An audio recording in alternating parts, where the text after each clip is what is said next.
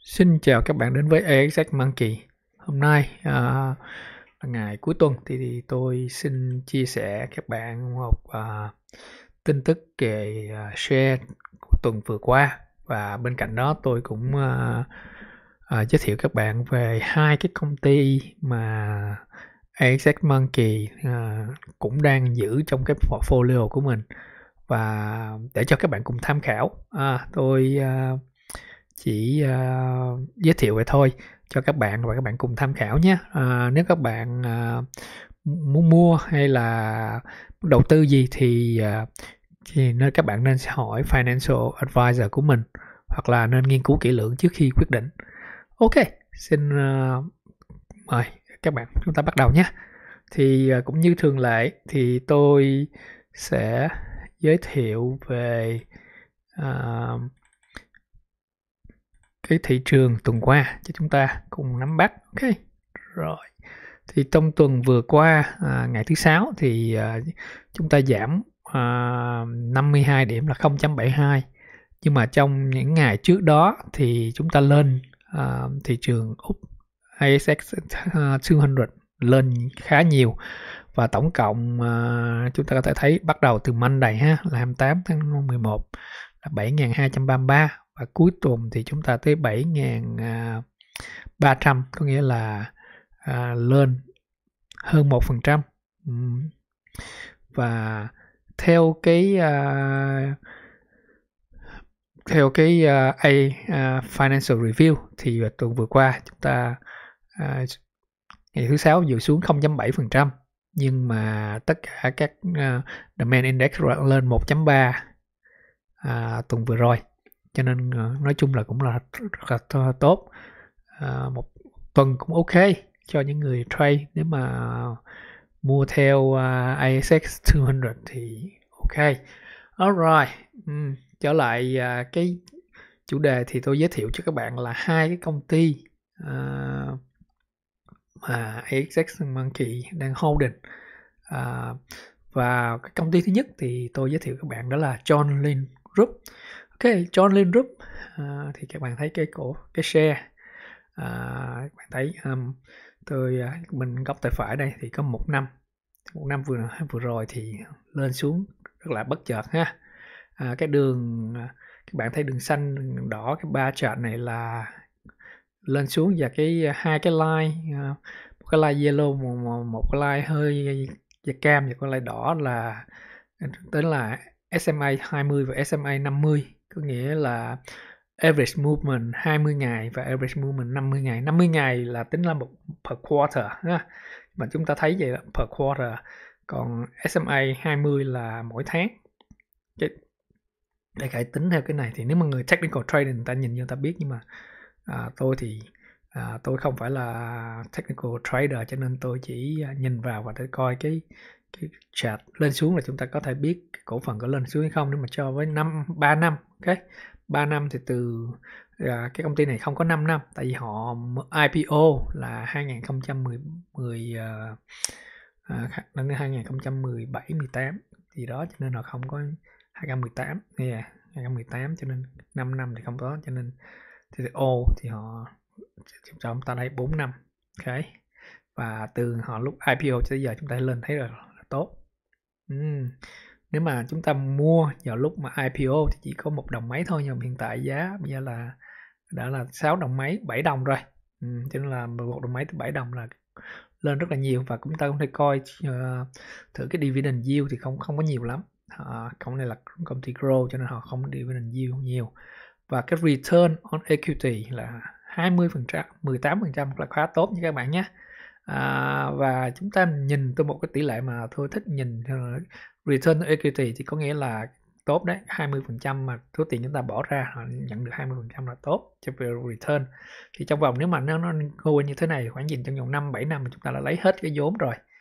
Và một phần nữa mà chúng ta nên chú ý là debt trên equity công ty này debt trên equity các bạn thấy là 0.95% có nghĩa là chia ra là 95% là công ty này không có nợ. Ok tất cả những công ty mà chúng ta thấy như vậy là không có nợ họ không có nợ nhiều. Cái tỷ lệ nợ chỉ có 5% thôi cái lệ tỷ lệ uh, equity là 95% cho nên những công ty này rất là mạnh về tài chính chúng ta không phải lo. Click vô chúng ta click vô cái, cái này tôi thích cái cái cái, cái Walmart này thì click vô bạn có thể coi ha. Nào ta giới thiệu definition là cái gì cái gì bạn hãy đọc.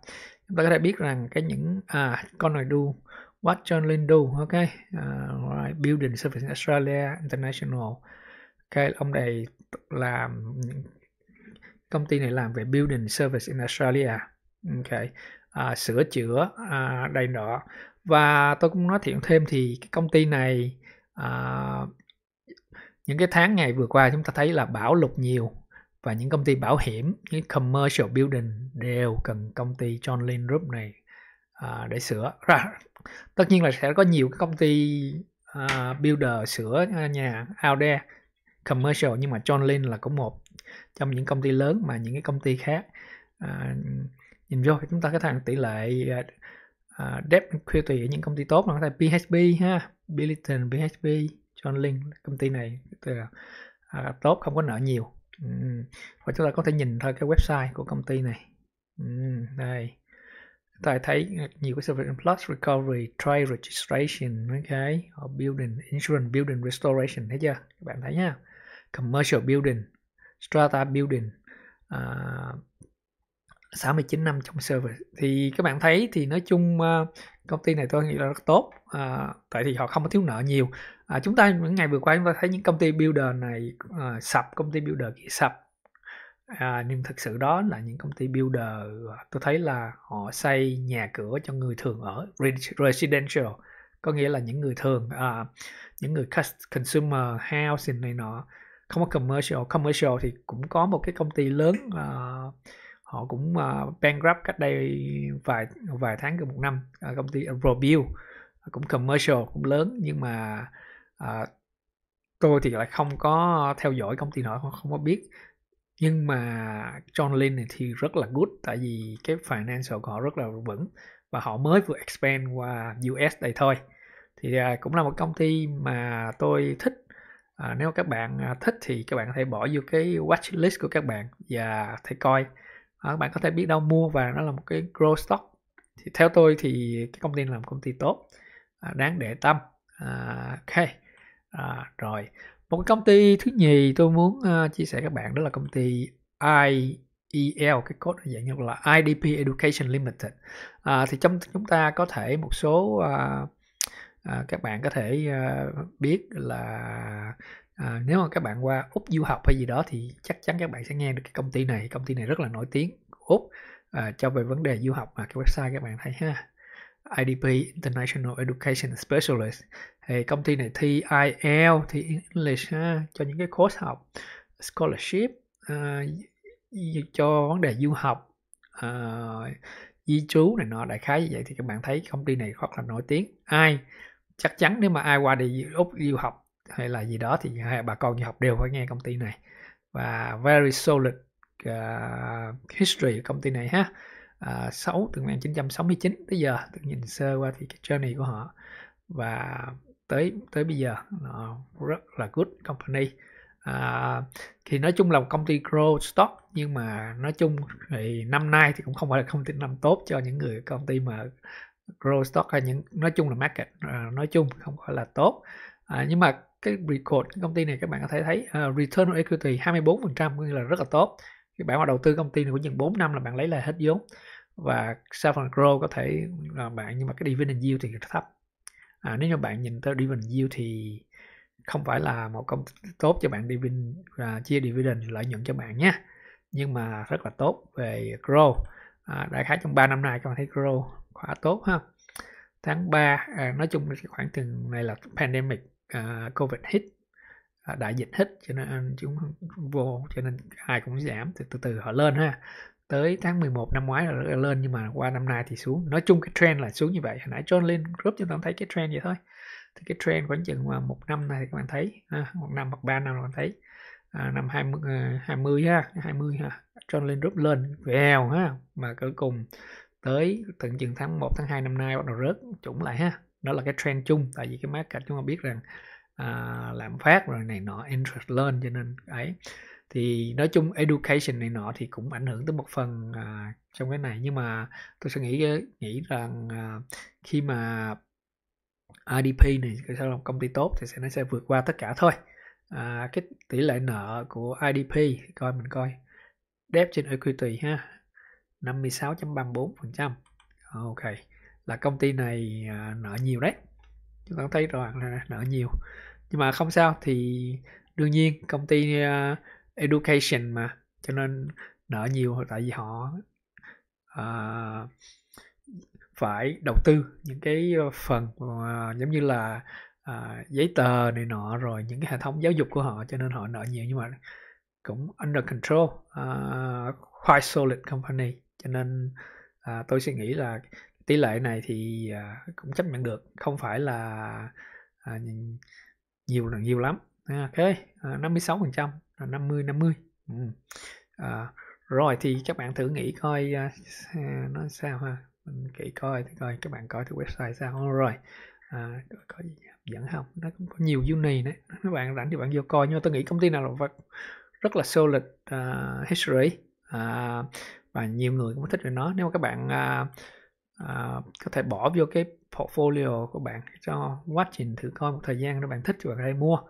Uh, và nói chung cái market rất là cao không phải uh, cái market của công ty này 5 tỷ không phải là dễ sập nhé công ty tỷ đô mà.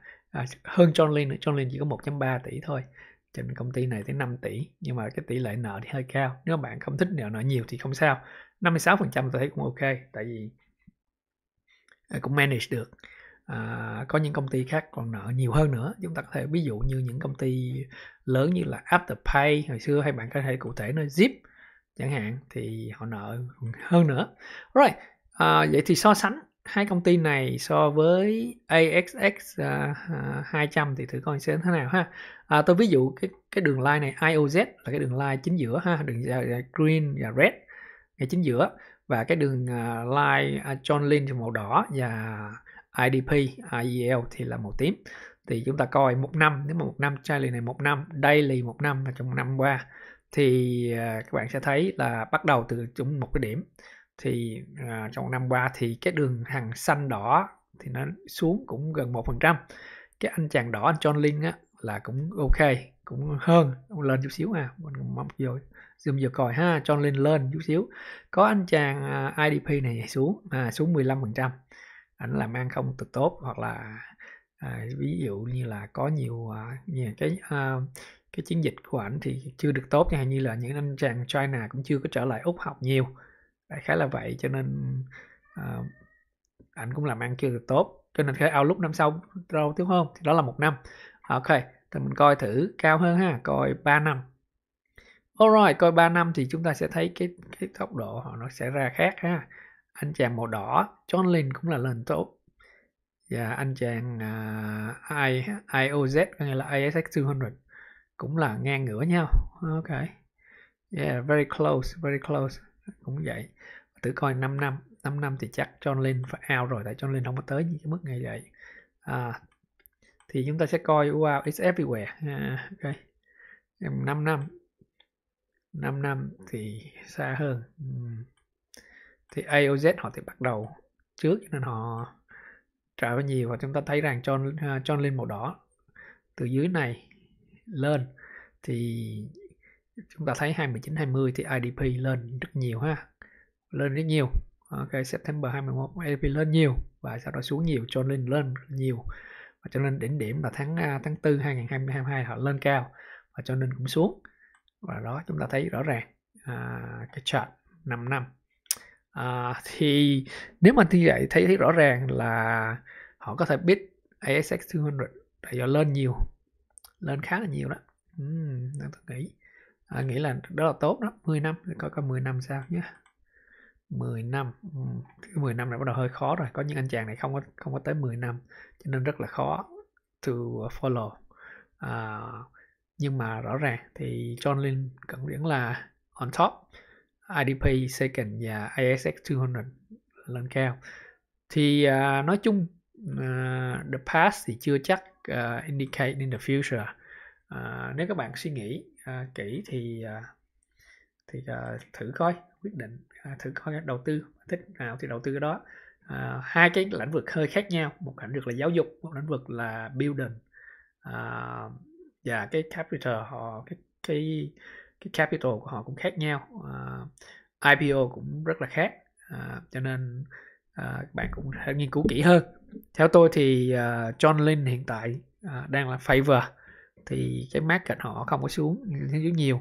Ờ, uh, IDP thì nếu các bạn mua vào thì các bạn phải chờ một thời gian cũng có thể là uh, tôi nghĩ uh, các bạn phải chờ khoảng chừng tôi nghĩ là bây giờ tháng 12 thì khoảng chừng 3 tới à, 6 tháng nữa thì IDP sẽ become really good. À, vấn đề tôi nghĩ là một số à, khi mà cái interest rate khi nó dừng lại thì uh, cái inflation xuống hoặc là inflation nó từ từ kiềm chế được. Thì uh, nói chung thì uh, tất cả uh, chúng ta sẽ thấy những uh, ngôi nhà sẽ được bán ra nhiều hơn. À, tại sao nói ngôi nhà bán nhiều hơn? Thì có sẽ có nhiều người uh, nước ngoài đầu tư. À, sau khi giá nhà mà ổn định đầu tư và sau đó thì những người du học à, những người di dân qua nhiều chúng ta sẽ thấy úc mở cửa ra nhiều và vấn đề di dân vấn đề du học và ai cũng sẽ cần cái vốn liếng anh văn để mà du học để qua đây hết. À, chúng ta phải chờ China họ mở cửa tại vì dạo này China cũng đang rất là khó khăn trong cái vấn đề mà Covid cho nên khi nó cao China mà mở cửa rồi thì nó sẽ dễ dàng hơn. Hiện tại chúng ta có rất nhiều du học sinh từ Ấn Độ qua nhưng mà cái phần đó sẽ không nhiều không nhiều bằng China tại vì China họ vẫn thích target Úc tại vì Úc là một nước Ờ, phương Tây à, gần Á Châu nhất nếu các bạn thấy không thể nào mà gần hơn được. Nếu các bạn đi từ Việt Nam qua Úc chỉ có 8 tiếng thôi nếu mà tôi đi qua Mỹ là tới 20 tiếng. Và chúng ta muốn đi bất kỳ cái nước nào khác như nước Âu Châu à, thì các bạn phải rất là xa hơn 20 tiếng lận. Và cho nó không phải nói Nga nhé Nga thì không phải là Nga là một phần của Á Châu và một phần của uh, châu Âu cho nên nước Nga chúng ta không tính à, thì các bạn uh, cũng suy nghĩ ok Alright, uh, trong uh, tuần sau thì tôi cũng sẽ uh, kiếm hai cái của hai cái uh, share mà ASX Holding đã chia sẻ với cùng các bạn nhé. Alright, uh, chúc các bạn có một đêm an lành. Xin cảm ơn các bạn.